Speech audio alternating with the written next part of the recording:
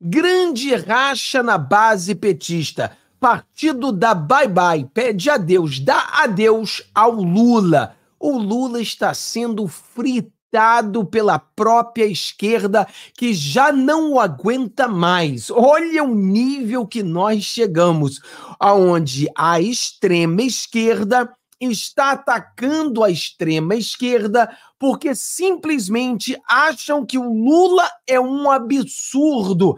Nós vamos falar sobre isso, galera. Meu nome é Fábio. Se você não deu o seu joinha ainda, dê o seu joinha. Amanhã é ano novo. Quero desejar, desejar a cada um de vocês um feliz ano novo, um ano novo de muita luta, mas que nós teremos muitas vitórias. Claro que teremos derrotas também, teremos muita competição, teremos muita tristeza com esse Lula no poder, mas no final do dia nós venceremos, porque quando tudo parece perdido, mas não está. Você pode ver que agora o Lula, ele começa a brigar com a própria esquerda, a extrema esquerda brigando com a extrema esquerda, porque eles sabem que o negócio tá feio demais.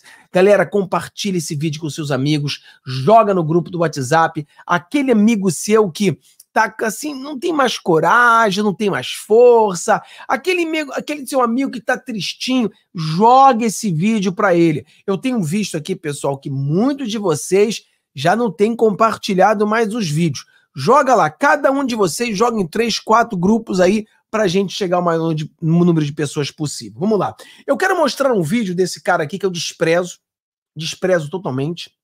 Uma pessoa que eu e você, né? Você e eu, que somos de direita, conservadores, os liberais que estão aqui, o, os liberais clássicos, obviamente, os libertários, nós não temos absolutamente nada a ver com a ideologia dessa pessoa. Discordo em tudo, mas ele está atacando Lula e o Lula está atacando ele. Então isso aqui é interessante que a gente entenda. Então deixa eu colocar aqui esse vídeo aqui para a gente entender. Vamos lá para você entender. Vamos lá. Olha só isso aqui. E nós vamos analisar juntos, tá bom? Vamos lá. Amanhã o que vai acontecer é o seguinte: daqui a um tempo né? Porque isso aqui é muito na hora da histeria, todo mundo está a favor, todo mundo é cheio de motivos, todo mundo é cheio de razões, né?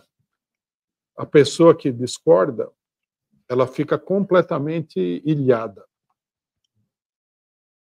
Leva tinta de tudo quanto é lado, daí aparece esses palhaços, tem uns palhaços aí na esquerda, que falam que você tem que ser cancelado, porque você falou a... Palhaços da esquerda. Interessante, né?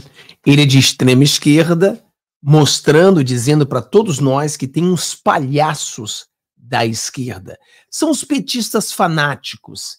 São os petistas, aqueles que acreditam que o Lula é bom, os que acreditam que Lula, esses são os palhaços da esquerda, de acordo com o esquerdista. O esquerdista chamando palhaços de, da esquerda. Né? São os palhaços. Não sei nem se dá para dizer que a pessoa que faz isso daí é de esquerda. Hum? Quanto mais, muito palhaço da esquerda. É... Mas depois a coisa se estabelece, né? E aí, né? Vigora aquele famoso dito popular: filho feio não tem pai. O contexto aqui, pessoal, quando ele fala filho feio não tem pai, ele está falando da PL das fake news.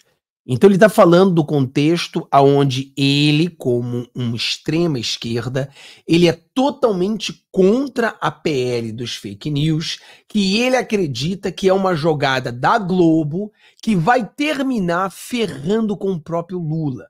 Então a visão desse cara não é que ele tá, ele tem ódio do Lula, ele está tentando ajudar o Lula. Ele está atacando o Lula para tentar despertar o Lula, dizendo para ele que a PL da fake news é uma armadilha da Globo para o próprio Lula. Uma armadilha para a direita, uma armadilha para a esquerda, uma armadilha dos globalistas. É isso que ele está tentando explicar aqui para as pessoas quando fala pato feio. Quer dizer, o filho feio. Entende isso aqui? Vamos lá.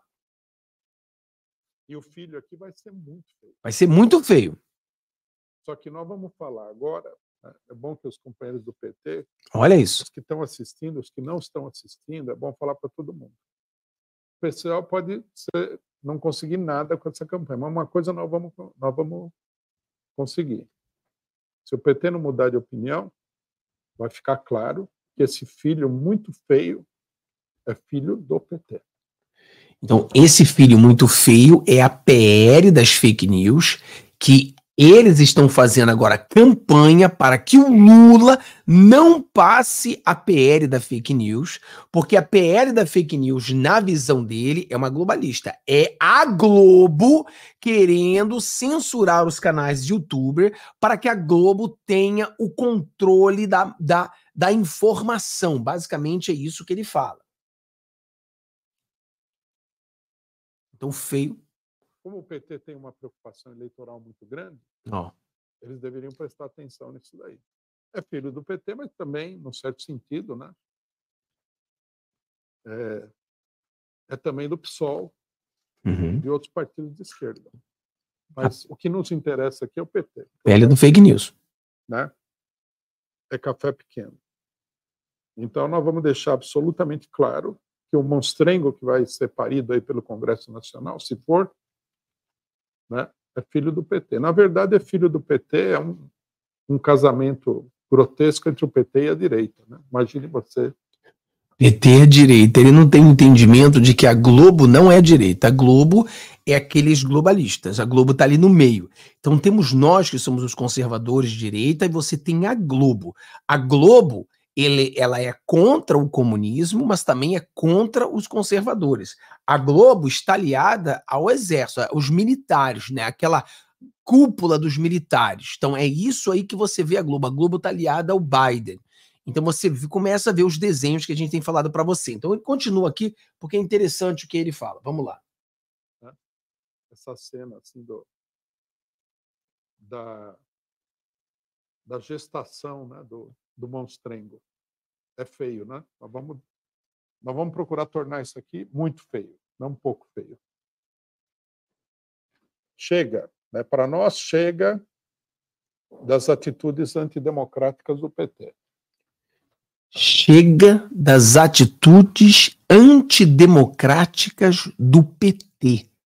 Quem é que é o fascista de verdade? É o Lula a própria esquerda dizendo que Lula é fascista. A própria extrema esquerda mostrando que o Lula está rasgando né, toda a de democracia bra brasileira, está agindo como um fascista. Voltando aqui para você ouvir de novo. Bem claro. Vamos lá. Olha isso. Monstrengo. Hum. É feio, né? Então vamos Fala aí. procurar tornar isso aqui muito feio. O PT é o quê? Fala pra gente. Chega, né? para nós chega das atitudes antidemocráticas do PT. Atitudes antidemocráticas do PT. Quais atitudes?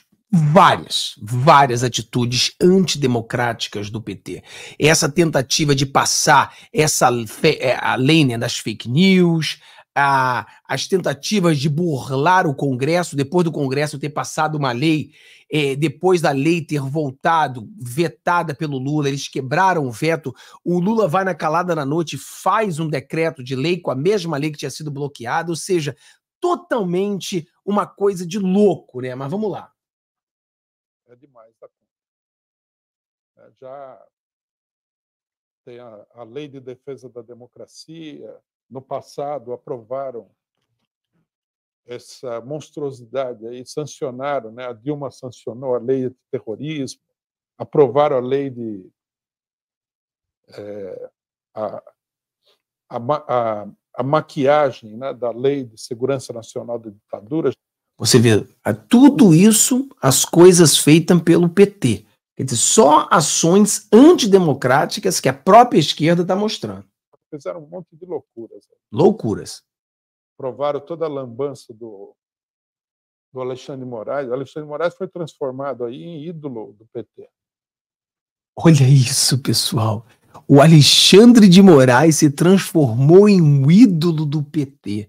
É aquela coisa, o petista hoje ama o Alexandre de Moraes. Mas eu digo para você com toda certeza, vai chegar o dia que nós iremos vender lenço para essa banda, esse bando de idiotas, que eles veem o Alexandre de Moraes como grande herói.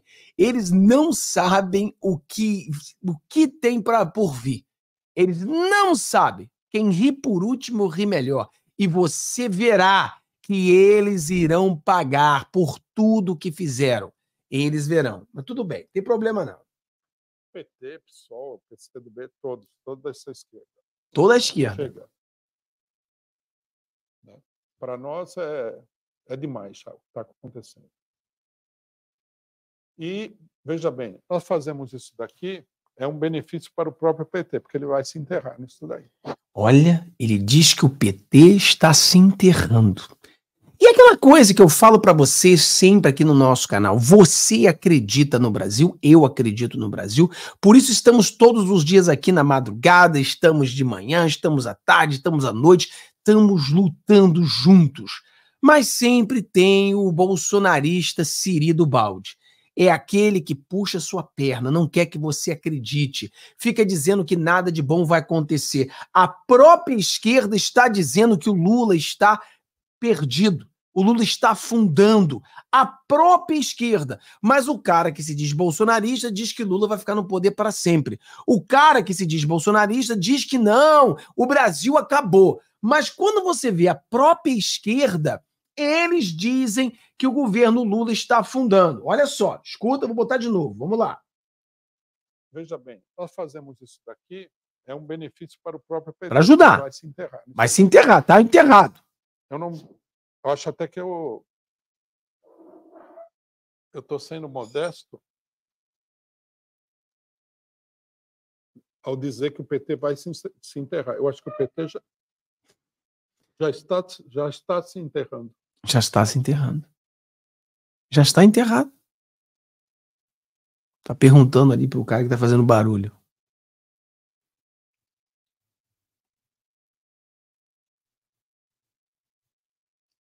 PT já está se enterrando. Bom, companheiros, isso aqui é mais uma discussão sobre o problema das liberdades políticas no Brasil. E vamos ter claro: quando a gente fala liberdades políticas, liberdades democráticas, direitos democráticos, nós não estamos exagerando. Não é é inacreditável. O PT está afundando. Eu assisti o vídeo todo, é um vídeo assim de mais de duas horas. Eu dirigindo para casa, escutei o vídeo todo. Como eu falei para você, ele é um cara que só fala besteira, né? acredita em ignorâncias, é uma pessoa totalmente que acredita em mentira, segue mentira, acredita em mentira, mas quando ele fala do Lula, ele realmente falou uma coisa que é interessante, né? Então a extrema esquerda, elas se dividem, né? Eles racham uma, uma rachadura na extrema esquerda, aonde eles discordam com o Lula. Eles acham que o Lula, fazendo essa PL da fake news, ele está caindo numa armadilha da Globo. Então, isso aqui é importantíssimo para a gente ver, porque mata dois coelhos com a paulada só. De um lado, mostra que o Lula não está forte assim como muitas pessoas pensam, mostra mais uma vez que eu estou certo quando eu digo que Lula já teve o melhor ano dele, o próximo ano vai ser muito pior, e mostra que eles estão divididos, mostra que eles estão quebrados e mostra claramente que é uma jogada da Globo e que a Globo está dando um golpe para cima do Lula. Lembrando a você que a Globo sempre fez a jogada para onde está o dinheiro.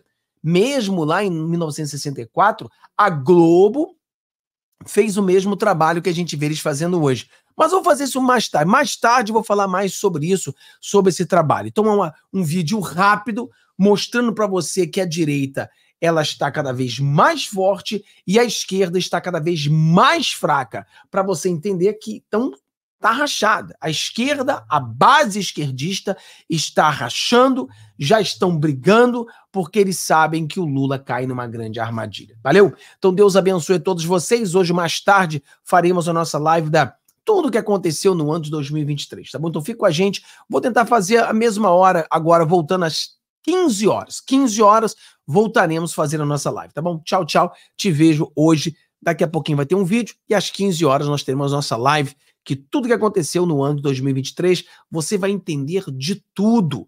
Você vai sair daqui sem nenhuma dúvida sobre tudo que aconteceu no ano, desde a entrada do Lula ao poder até hoje. Tchau, tchau.